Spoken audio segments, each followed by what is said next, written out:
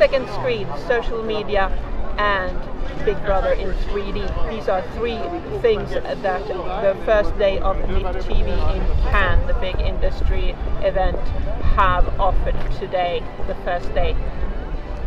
And it's clear that the TV industry is really, really scared of the rise of the internet. Uh, there's been a huge buzz about second screen solutions, and as one person tweeted, there are no second screen there are only screens. But it's clear that the TV industry, even though uh, most channels see, uh, see that, that 70% or more that of their viewers are still on traditional TV, it's no doubt that they feel the cold winds of the rising internet.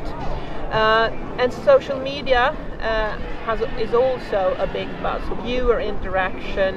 Uh, one person talked about the, the control room of the future where social media is an integ integral part of TV production, where the control room in the TV studio can use social media turn it around and get it out with extra added content to the regular TV screen.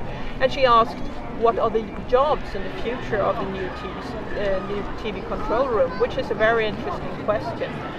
Another thing we, we, we have heard uh, talk about is the new monitoring and big data solutions that can give broadcasters and TV producers uh, good polls of whether a character is uh, popular or not, uh, whether it should remain in the series or be written out, uh, who should win, and basically all around how to promote and make their content more and more popular. So big data solutions has been talked at the startup track here in, in uh, Cannes a lot.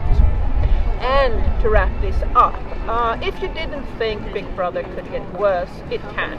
Uh, Big Brother in 3D, half naked ladies and young men in 3D in Brazil.